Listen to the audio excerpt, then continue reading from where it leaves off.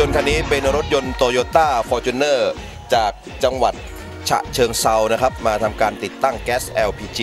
ในเครื่องยนต์ดีเซล ที่อู่ใหญ่ยนต์ tuning อำเภอตาคลีนะครับอันนี้คือท่านเจ้าของรถแล้วก็นี่คือเอ่อท่านอาจารย์ท่านหนึ่งนะฮะซึ่งเอารถมาทำเช่นกัน แล้วก็ได้มีโอกาสไปร่วมทดสอบรถคันนี้ด้วยกัน มาหลังจากทำการติดตั้งเรียบร้อยแล้วนะฮะ ถามท่านเจ้าของรถกันเลยนะครับว่าก่อก่อนอื่นเนี่ยมีมีความเชื่อมั่นกับระบบแก๊ส LPG ในเครื่องยนต์ดีเซลอย่างไรครับ ครับก็ก่อนอื่นที่ที่ผมจะมาติดเนี่ยก่อนหน้านั้นผมก็ใช้แก๊สในติดรถในรถยนต์เบนซินอยู่ ก็มีความเชื่อมั่นอยู่ในระดับนึง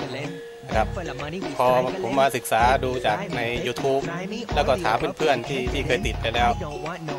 ก็เกิดความเชื่อมั่นว่านน่าจะประหยัด ก็เลยสนใจ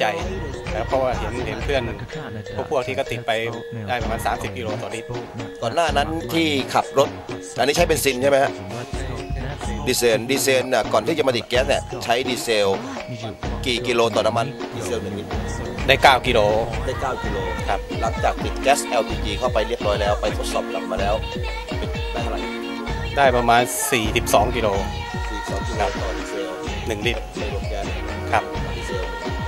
แล้วการขับเคลื่อนเป็นไงฮะก็การตอบสนองก็ตอบสนองดีครับไม่กำลังไม่มีตกก็ปกติอ่ามาท่านที่ไปร่วมทดสอบด้วยนะครับท่านนี้อ่าแนะนำตัวเองหนะครับครับผมชื่อธวัชชัยนาคบุตรครับครับมาจากเพชรบูรณ์ครับเอาเอารถมาทำติดตั้งแก๊สครับว่าไปร่วมทดสอบกับครับรถคันนี้แล้วอ่าเป็นไงบ้างรู้สึกอะไรมีความ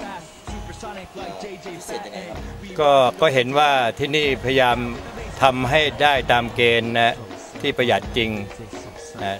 ครั้งแรกเห็นว่ายังทำไม่ได้พอปรับปรุงเปลี่ยนแปลงอุปกรณ์แล้วก็ทำได้จริง เป็นเรื่องที่น่าทึ่งมากครับ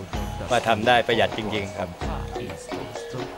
นี่คือ Toyota Fortuner จากฉะเชิงเซาครับ